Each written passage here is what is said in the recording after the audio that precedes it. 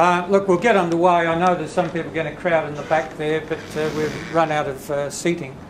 Um, can I introduce uh, Emil Zankov to you?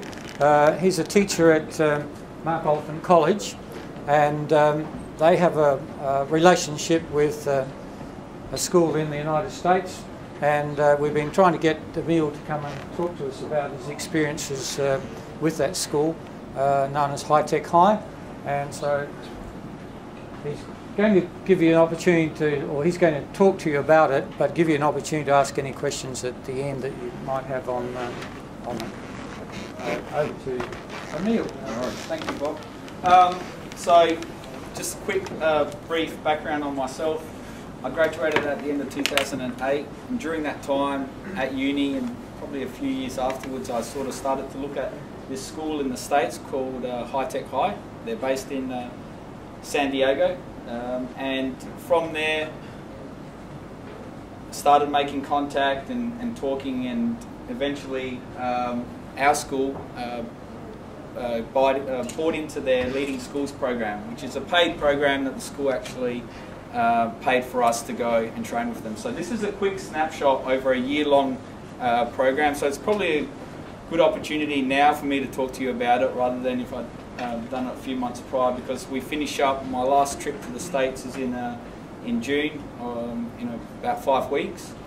Um, so I'm going to go probably for about 20 minutes and then I'll really want to give you an opportunity to ask questions and hopefully I uh, stimulate some of those questions and give you a bit of an idea. There's actually, um, when I put the presentation together, I was racking my head about how do you, how do you talk about such a massive program. So um, I might divert in a few different ways just so I can sort of encapsulate the entirety of it. Okay, so um, High Tech High, they're really big on their acronyms. Um, so High Tech High, and I'll talk about the High Tech High Graduate School of Education, which is for teachers around the world um, that they have contact with. Um, it was founded over 12 years ago, around 2000, um, by Larry Rosenstock and Rob Riordan. Um, they were primary school, um, middle school, and actually high school teachers for about uh, 10 plus years in the public American education school system and they saw a big need for a change. It happened uh, that at the time uh, they both went and said, look, we've had enough, and there was money and grant money for them to go around America and look at schools and look at what was happening and sort of just investigate in terms of the system. Um, if you know much about or anything about the public American school system, it's not really that flash hot. Um, it then uh, came about that there was an old Navy base um, at Point Loma in San Diego that uh, was basically decommissioned and that was given back to the city of San Diego. At the same time, Larry Rosenstock and Rob Riordan and a few others like Jeff Robin, who I'll show you, um, were coming, sort of finishing up, and there was an opportunity to start up. The area was growing to start up a brand new school, a public charter school. So not, um, every student there is enrolled for a lottery system, okay, around the state. So it, they actually put their name down, and it is a computer-generated system. And the only thing that school knows about the student is their first and last name and the zip code, and that's it. Okay, so the school is really big on project-based learning, and I guess when people hear that, they often sort of have um, I guess, ideas and thoughts because of um, what they've heard about in the past. And I was a little bit like that in terms of um, what I'd heard. Um, it really is uh, an entire system at that school that operates under that project-based learning model. And I'm going to show you a, a short five-minute video that um, that I took um, that hopefully gives you a better better understanding of how they do project-based learning because often project-based learning um, what we think of it um, is actually project oriented learning and there's a, and there's a difference and I won't go too much into detail but often if we ask students and we think oh we're doing a project based learning we'll teach the students for five weeks a concept and then at the end of it oh can you please produce me a poster or a model and done that's project orientated learning whereas high tech high through their timetabling system and the way that teachers work in groups of three or in two, sometimes on their own as well. They run a system where students create a product uh, and, and go through that process straight from concept all the way, all the way through.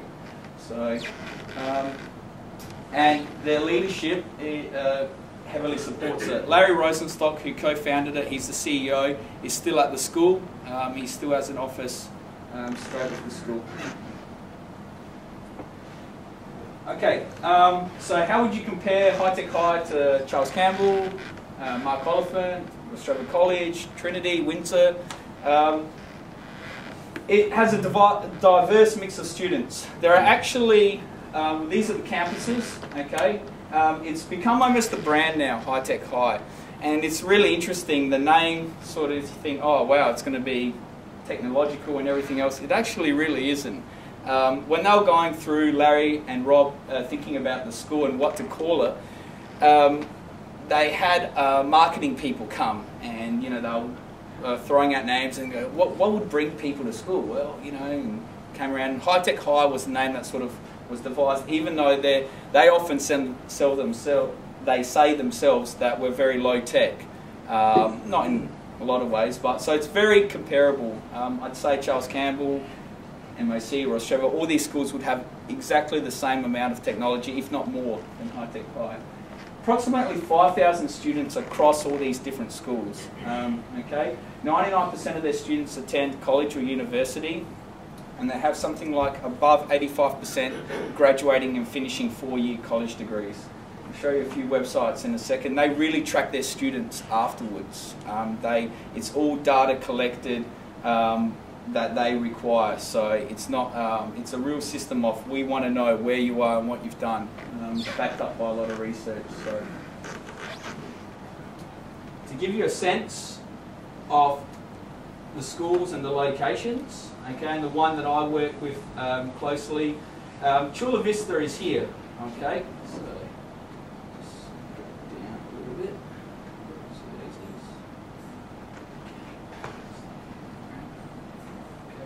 So Chula Vista is right here um, in San Diego, and the border of Mexico, and you've seen the video, is actually right here, and Tijuana is somewhere around there. I often joke, you know, is there a chance that we can go down to Tijuana while we're there, but not, that didn't really happen. So that's Chula Vista, one of the campuses.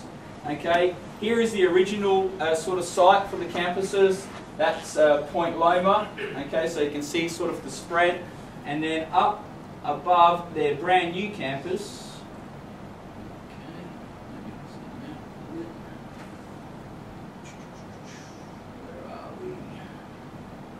Back a little bit further. Their brand new campus um, that they built here is in North County. Okay, North County is a brand new area in um, San Diego. It's a bit like uh, what's happened in um, uh, where I work, uh, Play for the Live project, but this is uh, sort of very upper class, gated community. Um, Chula Vista, right near the Mexico border, that's a lot more comparable to Mark Oliphant College, Point Loma, uh, where the um, Navy bases, you know, that could be comparable to a lot of different schools. Okay, so they really cover the whole of um, that part of San Diego. Okay.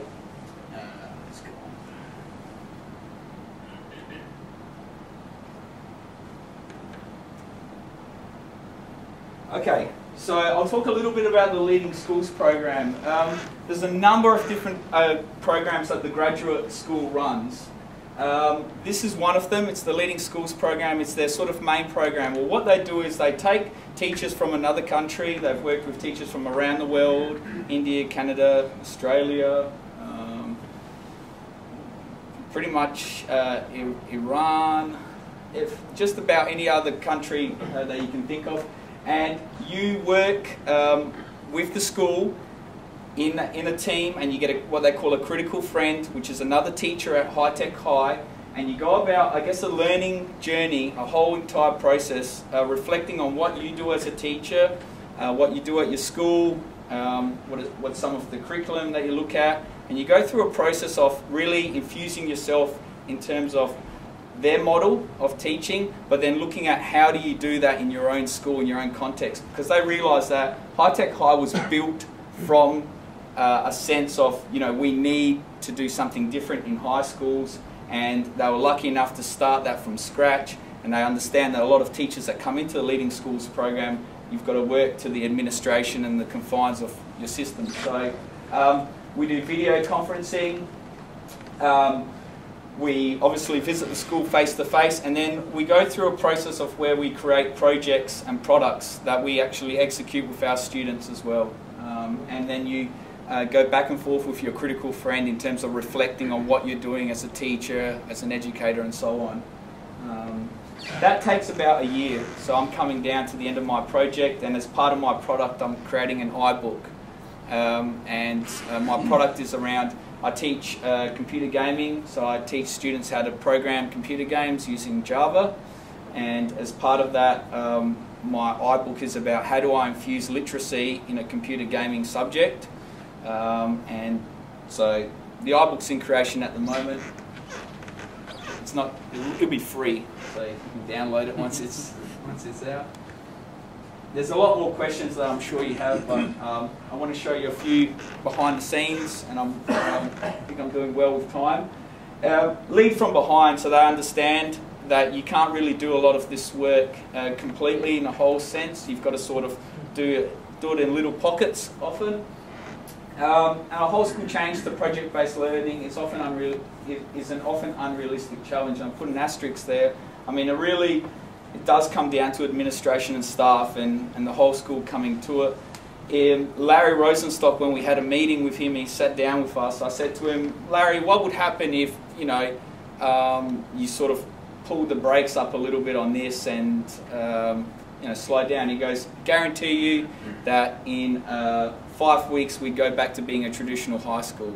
So they work really hard in terms of a whole school model to keep project-based learning at the forefront of what they do. Um, it's a, sometimes I mean, you might go there and you think this is a bit cultish, and especially the way the students, they know all the acronyms and they talk about the school and everything, but then when you dig a little bit deeper, um, what they're really trying to infuse in the kids is just a love of learning as a base level, and it sounds a bit cheesy, but um, a lot of their students, uh, because they come from such diverse backgrounds, extremely well-off uh, backgrounds to extremely poor, um, th that's the principle of everything that they do. A love of learning, a love of um, generating um, information and looking at really real-world authentic topics. And through that then, they infuse um, the California uh, state systems requirements, the curriculum, because um, like you saw in the previous stats, they have uh, fantastic results in terms of getting kids to college and university. Probably, probably one of the best in the States, I'd say. You wouldn't see many having a 99% return rate for that many students. Okay, so um, let's just go through a few things. Um,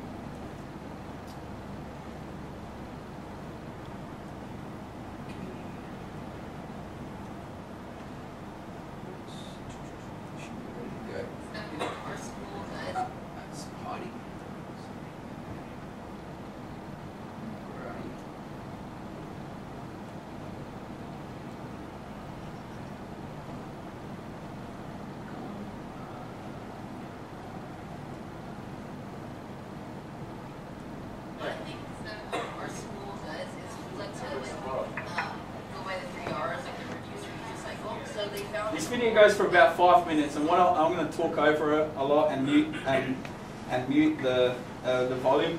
Uh, they do a lot of art projects at High Tech High. That previous one that you saw was an old cigarette um, dispenser machine, and what they wanted to do was they generate funding a lot from uh, the community, and so they created a project where in tech they took the old cigarette um, machine, reconverted it, and they put student art pieces inside there. Okay, and that sits out the front of the school, and so when family and friends come into the school, they can actually buy some of the artwork that students from around the school have created. Okay, so that's a sort of collaboration type model. Um, that's a bit of video showing uh, they're doing trigonometry, I think, in there in maths. So you can see standard uh, classes, okay. But what you'll notice with the school, this is um, I think at Point Loma at the um, at the Navy base.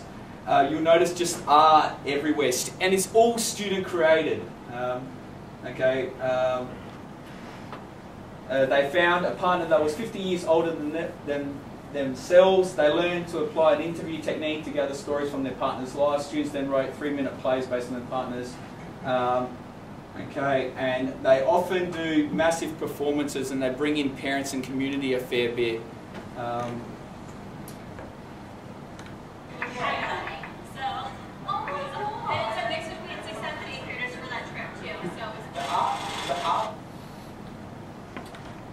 You see um, a lot, lot, of remnants from the Navy base, okay, the exposed piping and all those types of things, but the student art is just, uh, you, can't get over how much there is, and it's constantly changing. You go there in three months' time and all that art would have disappeared. This was a mass science project, okay, looking at um, uh, Newton's law and what else did they have there? A few other things. Um, student created um, these are some of the visitors that are uh, coming to the school. So Yale University, New York University, um, Dartmouth, uh, Pitzer College. They, they, um, they constantly have uh, different um, visitors come to the school. Yeah, this is at the Navy base. Okay. This was in a this was a year nine class, so this is in a hallway. It would be like the hallway out there, okay? And there was you had year nine students, um, a whole class of them, and they were uh, they were, they were creating Rube Goldberg machines, okay? If anyone knows anything about Rube Goldberg machines, uh, classic cartoons where you start from you want to do something simple and you got this whole complex contraption, you know, to blow out a candle. So the students were looking at the math, uh, obviously the science and the, the physics behind that.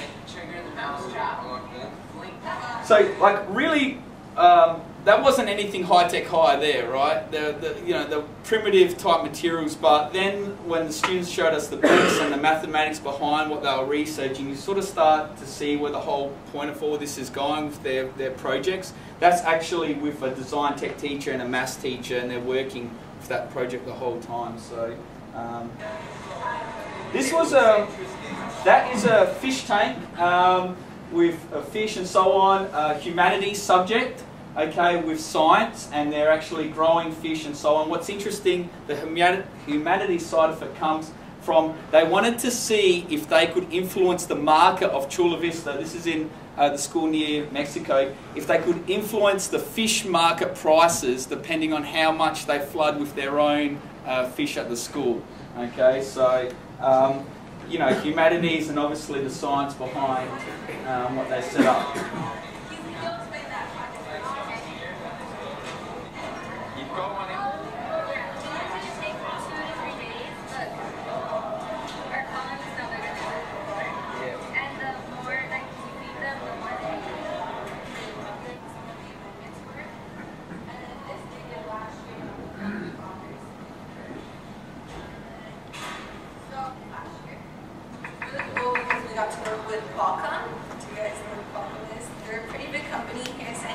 Do you know who Qualcomm is? They're a huge company in San Diego, okay? Um, I'll let her explain then I'll... Oh, the owner of Qualcomm, his son is actually who founded our school.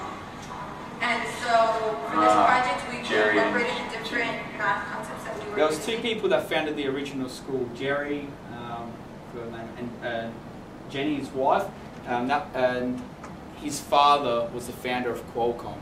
Okay, so that was where the initial school in 2000 had the backing. Um, and so every and so what we did, we created a box which you could, create it with any dimensions you wanted. And we also had to make a bungee cord. And we didn't know how long the bungee cord had to be, so we had to calculate that. And the point was we took it to a bridge and we put an egg inside. And you didn't want your egg to break. So it was up to us to find the calculations for the bungee cord, and also like what type of energy we would be using. For, so it was physics and math. So where was the egg? It was inside the it was inside the box. And you just had to keep the egg safe? Yeah, you had to keep it safe and get it as close to the ground without breaking. Who won? Uh, I actually don't remember. Mm.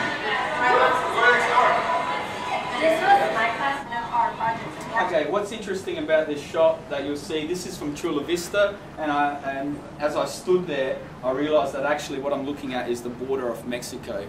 Okay, I'll zoom in in a second, you'll see it. Um, they actually have students from Tijuana, Mexico, come to the school every morning for classes. Um, so they go through the whole process. Um, and so it's really interesting. You get like the diversity at Chula Vista is amazing, and it's very different to North County, where it's a lot more preppier type school, and then Point Loma, which is pretty standard. You get a whole mix of San Diego families. Told us sometimes there are illegal immigrants running around back here. Really? So yeah, It's like a So right now we're looking at the prison? yeah, the prison's right like there. Yeah. That's not all that area. That's Sort of in a way, it's good because if you do the wrong thing, you know where you're going go. So you don't have That was relevant, but this is still awesome. Okay, so uh, periodic table of he, elements, heroes and villains, and so you know this would have been an art and science type project um, with the art teacher and the science teacher. How's it not relevant? Or knowing. Oh, that yeah, I love that, yeah. Um, this was just random throughout the day. Um, I saw this. This is at um, the, the Point Loma base. They were doing an experiment with um, um, gravity and science, and I, they were looking. I think they this may have been part of that egg type experiment. So um, just a little. There's no uniforms at the school.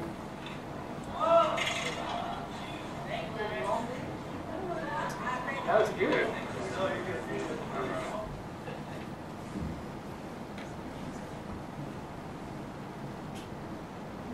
So uh, for the people at the back, in this project, students brainstormed, organised and created timelines uh, with 10 of their most significant life events on the backs of their composition books. After each student chose one of their most memorable life experience, they helped shape who they are today and wrote a personal narrative based on their experience.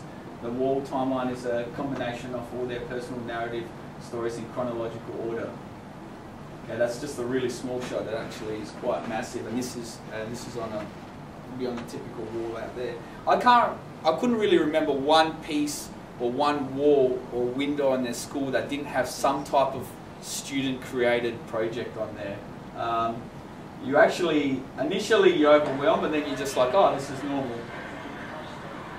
Okay, uh, I think I've got a better picture of that. They're actually uh, measuring uh, brine, shrimp, and looking at the coral and those types of things behind it.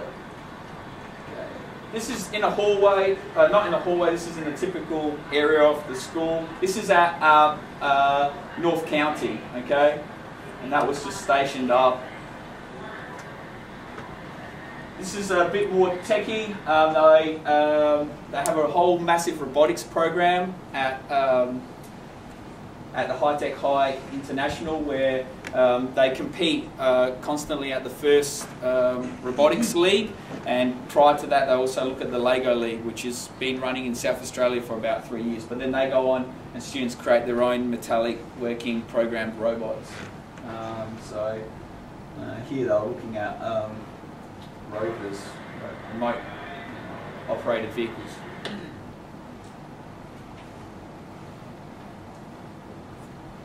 Some artwork students had to create. Uh, I think their brief was to design comfortable chairs. Okay.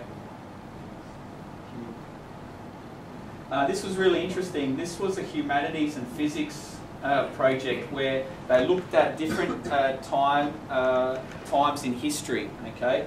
Um, now to wrap your head around the size and scale of this project, um, uh, as I wrap up, you, it, it was about up to the size of the projector. Students created each um, each of these. Okay, so they took a period of time. So I think this was like Incas, and then each cog was linked up to another cog. There's a few more photos. They laser cut these. Okay, so this was all um, done with a laser machine.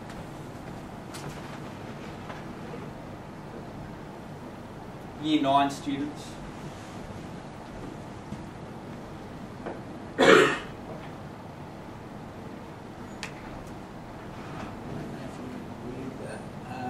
oh, acme, greed, rebellion. People are without community. These people decide to establish small funding at the rest. So this was um, talking about leadership. They designed these on a great program, this cog Gears program. I think it was from workinggears.ca. Um, it's, it's a brilliant program, costs $20 or something like that, and you could simulate um, how the gears worked and so on. The students designed on that, then they went and actually executed um, and built their own. So humanities and, and physics teacher, they spent, I think it was seven, eight, nine weeks straight with both teachers, and probably they spent majority of their day um, doing this. And that's the size of it. So my friend there, Tom, he is uh, six foot something, okay, and that gives you the size of the scale. So it works off two little motors on the back. The backup motor is actually um, just there for show, and when it runs, everything is turning and spinning. Um, at the time, they actually hadn't, they didn't have it running because it was uh, going to be put up in the boardroom. Um, so probably one of the most prized places to put up um, artwork at the school.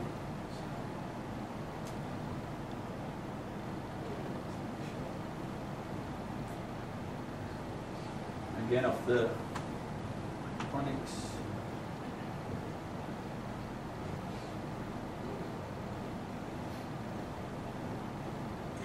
which kind of thing is for here.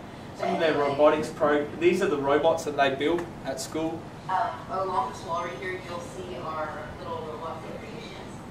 Um, so it's pretty, it's pretty cool. So these are the robots that they actually sent to compete in the tournament. So the robotics program is phenomenal. Um, He enters them in competitions and stuff, and then they do things from like throwing um, balls or anything to sometimes even battle with other robots sometimes. But anyway, um, those awards on the wall you see right there, um, definitely. Uh, and that's it. Okay. So